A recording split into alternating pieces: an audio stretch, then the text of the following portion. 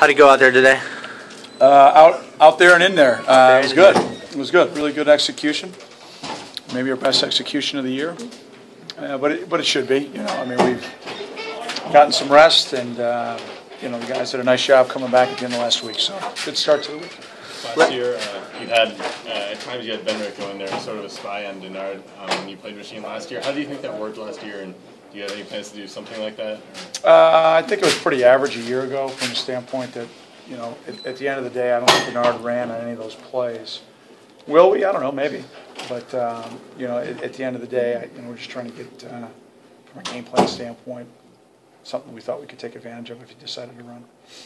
You said uh, yesterday you're preparing for both Denard and Devin. Uh, Yeah. What kind of a? I mean, does that add a headache for preparation for this game, or? Yeah, I mean, I just think that the talent level overall gives you a headache. I mean, they've got uh, terrific talent, very well coached, fundamentally very, very disciplined, and uh, you know you compound that with having to go play them on the road. So it's going to be a huge, huge challenge for us. But uh, you know, you just got to execute. I mean, that's what it comes down to in November. It's not anything magical. It's not like the opening game where you know you don't know what you're going to see. They know what we're running, we know what they're running, and it comes down to execution at this time of the year.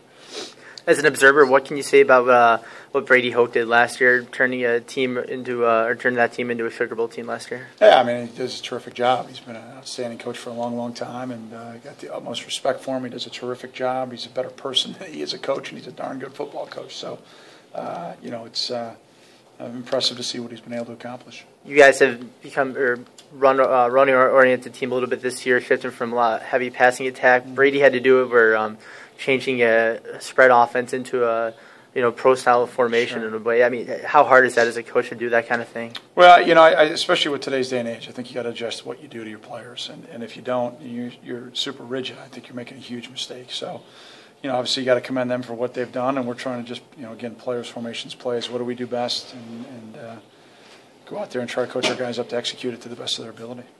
Coach, your defense has been much improved this season, but one thing that's been lacking is, is uh, forcing turnovers. What are you guys doing in practice to try and uh, get uh, some more fumbles and get some interceptions? for Well. I don't know about that now. I mean, I think what are we plus six in the turnover ratio? So I mean, I'm, you know, we've missed too many interceptions. I mean, that's the one thing. We've just missed too many. We've had our hands on. I, when we did our self scout, we we should be at somewhere around 12 or 13 interceptions. Right now we're at three. So we've probably missed 10 opportunities right there. And if we make any one, maybe two or three that were in critical situations, you know, maybe we're in a little bit of a different different spot. But uh, we work hard at it every day, and uh, I think our guys have done actually a pretty good job. We're not going to get them all, but what's more important is the ratio, and uh, you know we've we've been pretty good at this point. Going back to offense, just um, how impressed have you been with your offensive line this thus far this season? Well, I think it's an 11-man operation. I think the last few years have gotten a lot of, uh, I guess, negativity thrown at them because of our sack totals. But you know, when we went back and we looked at our sack totals, our you know over half of our sacks were for less than one yard. So you know, you don't get too bent out of shape. You prefer to see us get rid of the ball. Maybe we didn't run the right route. Maybe we did blow a one-man protection. You know, one guy broke down, but whatever. But schematically, I think we've been sound. We'll be challenged this week. They do a great job on third down of overload pressure, trying to attack your protections. And uh, we're going to have to do a great job adjusting in game based on, uh, you know, on what Coach Mattison and the staff are going to do. So that's going to be the, the chess match within the game. It's going to be a great challenge. What has been the reason for that success? Uh, as far as the sacks there's only 12 the entire season so far, from, I think 47 last year. If you had to attribute to one thing, I, I think just playing and executing better. I think getting rid of the ball, uh, making better decisions with the ball. I think more sound in the standpoint of execution of our protection. I think we've been winning one more one-on-one matchups. You know, about a third of our breakdowns a year ago were losing one-on-one matchups. So you, you got a third there. You got about half that are one and one, one and a half yard sacks. Stats are for losers, guys. So. I mean, cut the grass a quarter inch shorter this year too, but none of you guys have brought that up, so it's a little disappointing.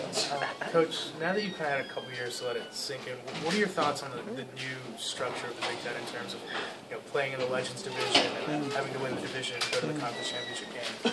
Well, you know, I think it's obviously uh, pretty special for the fans. I think it's great to see the, you know, the two divisions, and now we go to November, and you know, we got divisional races going down to the wire, and you know, it was kind of the same way a year ago. So I guess two years into it, I, I think it's pretty cool.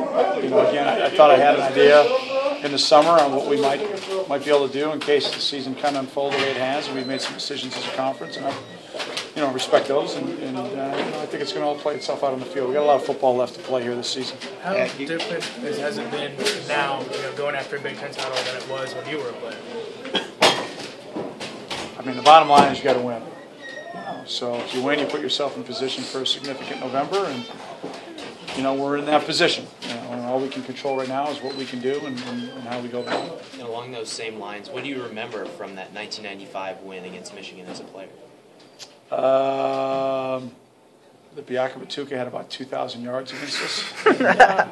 he didn't score though, so I mean we we uh, we found a way to win. Sammy had a great game kicking the ball. We had a lot of guys step up. I remember Steve going down and Hammy coming in and throwing some big passes.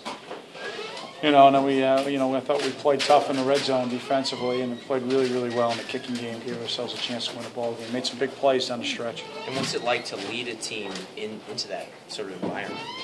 Yeah. It's just like every other game. Just like every other game. I mean, I think every game is special in Big Ten football. It's a great privilege for me, and I'm honored to have the responsibility. And you know, I'm, I'm not going to lie, guys. I don't get over excited about one game more than the other. They're all pretty darn big to me. So look forward to Saturday and huge, huge challenge for us. So it, uh, should be exciting. I'll take You said, Pat, you said yesterday that it was an unusual bye week because it was so late and you knew what you had in your team. What do you have in? I think we got a physical team. I think our guys will fight. Um, I think we're maturing to the point where our younger guys are now starting to figure out just how hard it is to win a game.